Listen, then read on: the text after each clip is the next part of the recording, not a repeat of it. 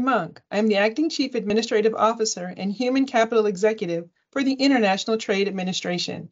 I've been in federal service for over 35 years. Women's History Month is a time for me to honor great women past and present and acknowledge the sacrifices that they've made to pave the way for future generations. Something I would tell my younger self is that I am worthy. I will make mistakes. I will get lost in comparisons. But give yourself permission to explore your potential. Obstacles are not meant to hold you back, they serve as life lessons.